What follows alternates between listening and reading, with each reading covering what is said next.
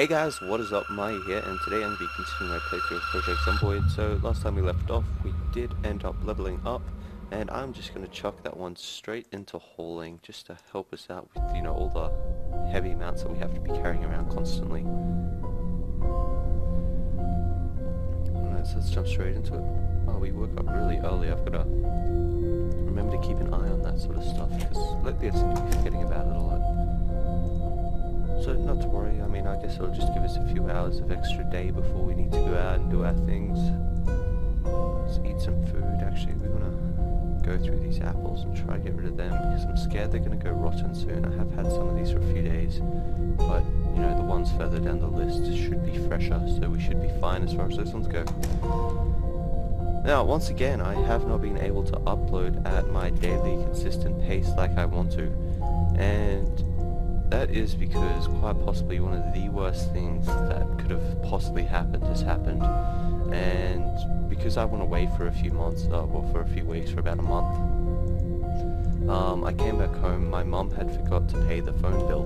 Now I pay the internet bill myself and um, you know, she just has to pay the phone bill. And yeah, so you know, the phone bill hadn't been paid, but the internet was still working. So I'm kind of just like, oh, you know, if the internet's still working, you know, don't stress too much about paying it straight up you know, just wait or whatever. Now, that was possibly the worst advice I'd ever given in my life because uh, we waited two extra days.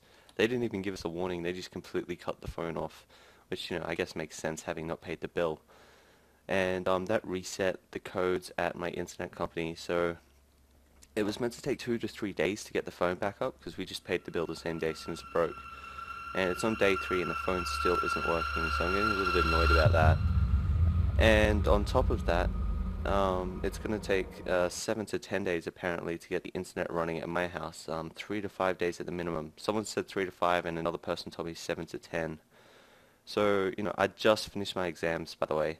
Um, you know, I'm, I'm literally studying my holidays as we speak. You know, this is my first day of my holiday. And I don't have internet at all. And if I want to upload videos, I have to, you know, go over to my grandparents' house or something like that, borrow their internet, go over to a friend's house, borrow their internet, and it is just, it's just a pain in the ass. But, you know, I'm, I'm still going to be able to get the daily videos out because I can just record a whole heap at once and then upload them. But, you know, it's, it's, it's just such a pain and it, it really destroys my holidays a little bit because what the hell can you do in life if you don't have the internet? Uh, you know, it's basically what I've come to realize.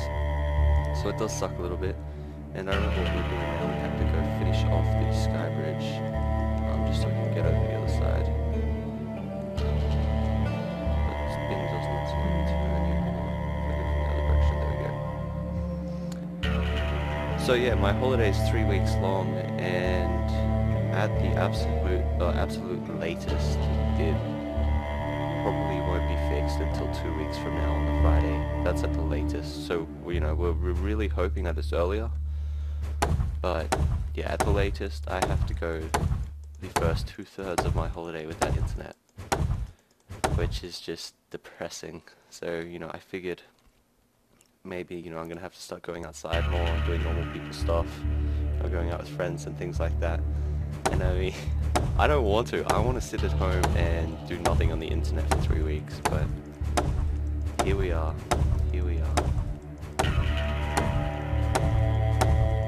And I do actually have some more info on the uh, patch arting.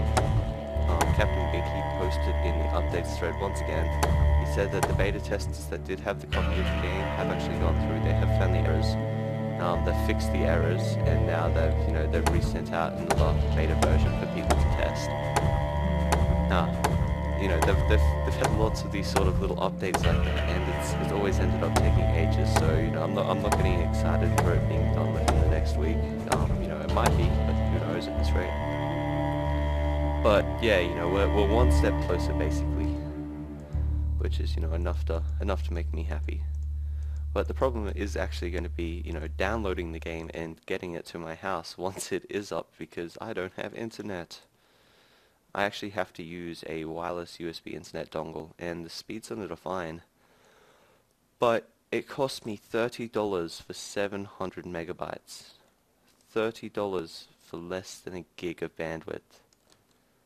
that is extremely steep. And, you know, yes, I know I'm getting ripped off massively, but I figured this is cheaper than actually having to buy another dongle because this one's a Telstra and everybody in Australia knows Telstra dickheads. So yeah, here we are. So I'm thankful that I at least have some internet. It does allow me to play some online games, but you know, it's not going to last me the full duration and it costs $30 for 700 meg. So, you know, that, that sucks quite a bit and we'll just, we'll keep pushing this one up. I think the worst thing about it is I got Diablo 3 on on Thursday. I got Diablo 3 on Thursday. That's the first day that the internet went out. I just got home. Me and my girlfriend both have copies of Diablo 3, brand new, really excited. Just got home, put the disc in. It's like, you know, I cannot detect an internet connection. That's, you know, when I realized something was up. And, you know, that was that. So we ended up getting the dongle just so we could play, just so we could play Diablo. And I think in the last 24 hours alone, um, including going to university, studying, going to university, doing an exam, and sleeping. In the last 24 hours, I have spent 13 of that playing Diablo. So, you know, it's, it's been a pretty lazy last couple of days. But you'd be surprised how much time you have video games and study when you don't have Facebook and all those other things there to distract you. Okay. So I got a 25 planks of wood. And we should have everything we need. Yeah, and we've got everything we need in our inventory to craft craft them into walls when we get over. So another survivor out there. I would go out there and try help him, but at the moment, you know, if we get caught off position with this much weight, we're in a bit of trouble. So how are we going? Definitely feels like it's helping that, you know, a little bit of extra weight capacity from the upgraded hauling.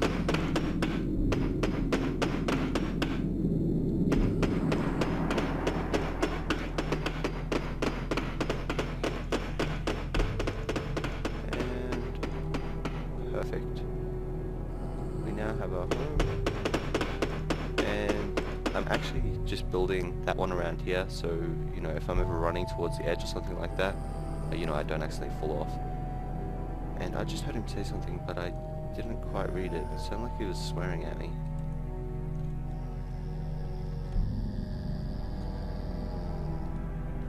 Can I just get down these? Okay, there we go. That was a weird bug. It looked like I was walking onto the platforms, not underneath the stairs. Okay, so who's that guy? Ah, shit, he's bleeding. You know what we do with leaders? We take them out. Because if he's bleeding now, he's going to be another zombie for us to deal with later.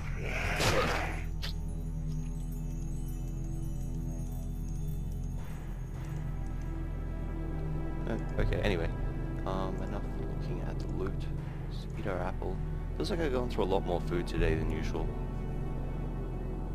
I'm sure it's nothing. Okay, so we really only got seven pieces. That's going to make us one. One wall, so that's not even worth it. So I know we do have that other place barricaded off. We're going to have to barricade this place off too. And where else can we barricade? Yeah, okay, so we still got quite quite a bit left to do. But it shouldn't it shouldn't be too much of a problem. We should be able to get that done by tomorrow. Actually what I can do is as much as I don't want to do this, this is going to be probably my new area for, you know, gathering wood and things like that. It is going to be safer. So it might be an idea to actually no, you know what? Scratch that. I was I was gonna go over and push my wheelie bin all the way over there, but then I decided, you know, if I ever need to come out here because there are a lot more trees out here to cut down, uh, you know, I'm gonna have to drag it all the way back, and that's gonna be pretty difficult once it's completely walled off. Holy crap! He just he just zombified right in front of us. That's so cool. Looks like guy actually has a few wooden planks which I will take straight off him. He doesn't need those anymore. Oh, this, that was scary though. Can't be good for morale seeing other people turn. No, so yeah, what I'll do is I'll probably go around and either get another bin straight away for that one, or just drag this one over and get another bin for down here at a later date. But, you know, it's, it's not really too urgent. So it's like 6 o'clock now. Let's head home.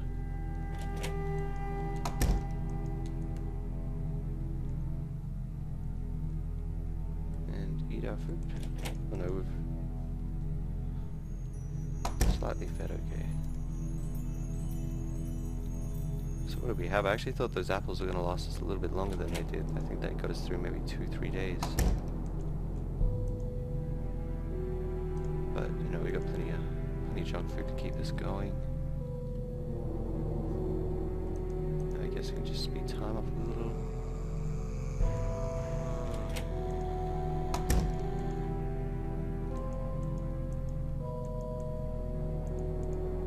sleep for the day.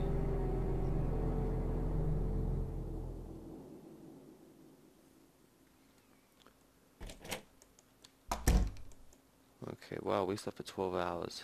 We will be feeling very rested. So let's get outside, let's get straight to cutting things down. You know, within within the day I reckon we should be able to get enough planks to actually go around and completely wall that thing off.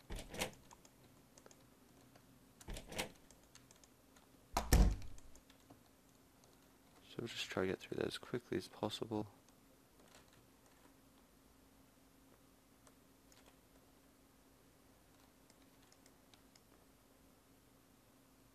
There we go. Oh shit. Another example of the line of sight out here being a little bit dodgy. That zombie just randomly went invisible. That was a little scary.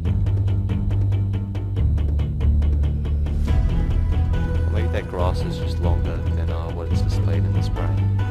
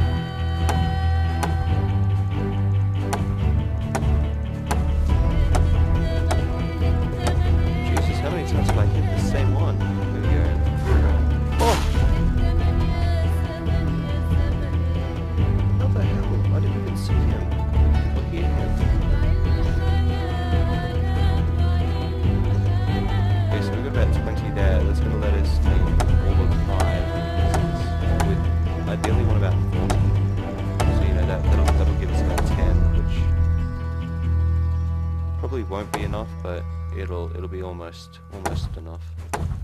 Just to get everything sealed off in that place into, you know, a somewhat safe area. I mean, I'm still concerned that zombies are going to randomly spawn inside of it, but, you know, I'm not going to be concerned about hordes breaking in. Unless in patch R, when I finally upgrade, they decide to make walls breakable. In that case, we might be in a little bit of trouble.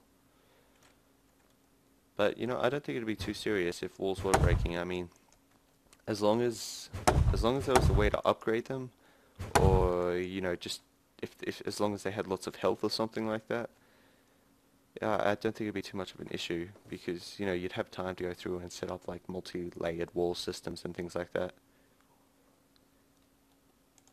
Which actually it reminds me of a comment I was reading the other day, and you know somebody was talking about you know just being able to upgrade, know build more buildings, um, upgrade upgrade things that you have built.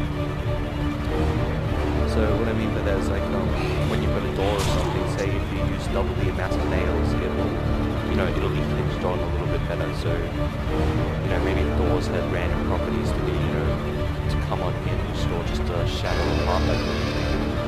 You know, the more nails, the more hinges you had,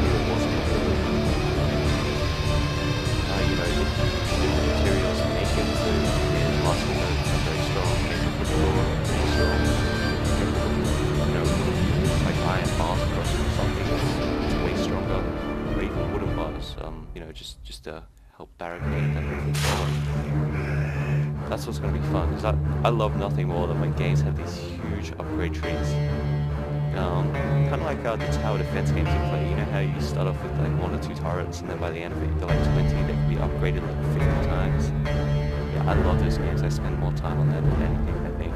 So yeah, upgrades, upgrades where it's. So that's what I'm really hoping for. But I guess we're getting a little bit too ahead of ourselves there. Gotta wait until they can get new zombies the game first.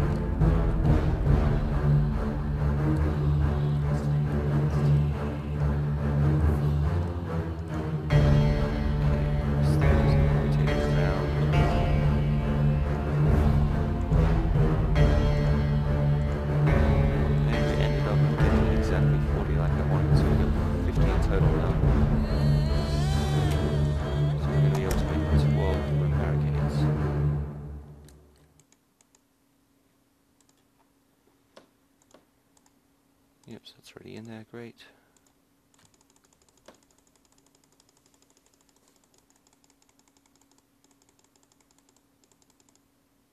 There we go, okay.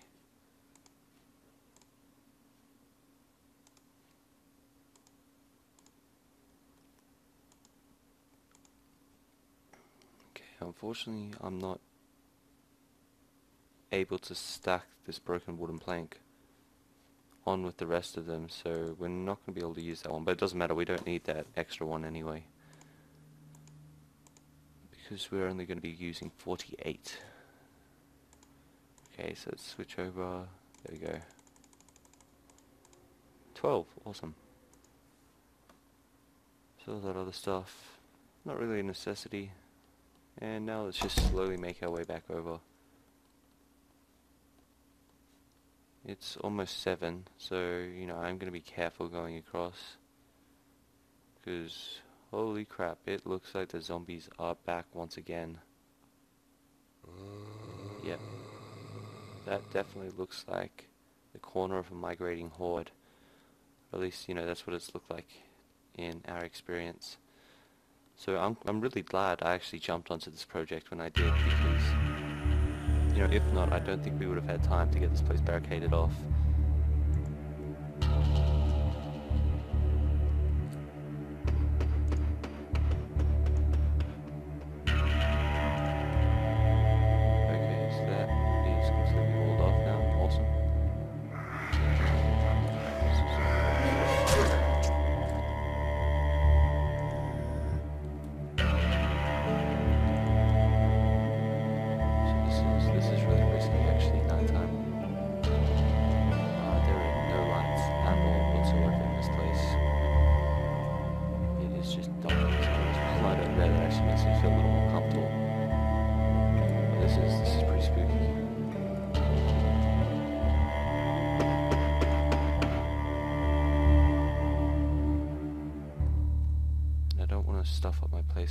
I don't want to rush because, you know, I'm kind of a little bit on edge.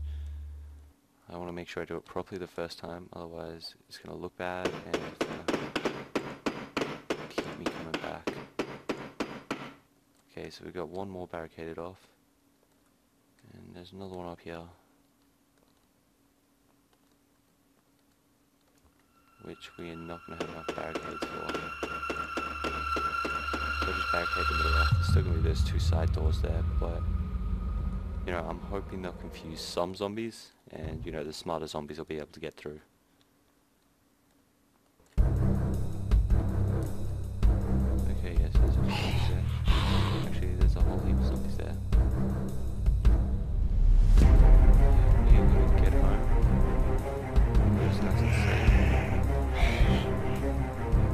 Holy crap, holy crap. I did not even think of that. I've just made an entry into my house that the zombies can use. Thought that did not even cross my mind.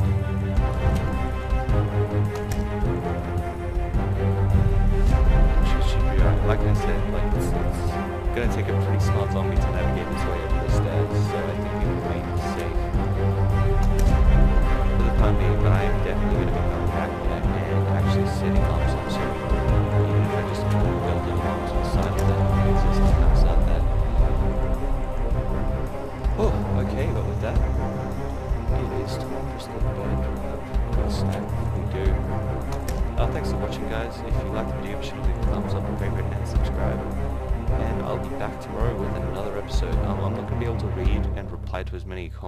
so, you know, I apologize for that. It really just is my bandwidth. But, you know, I'll be doing my best to get these videos up day by day.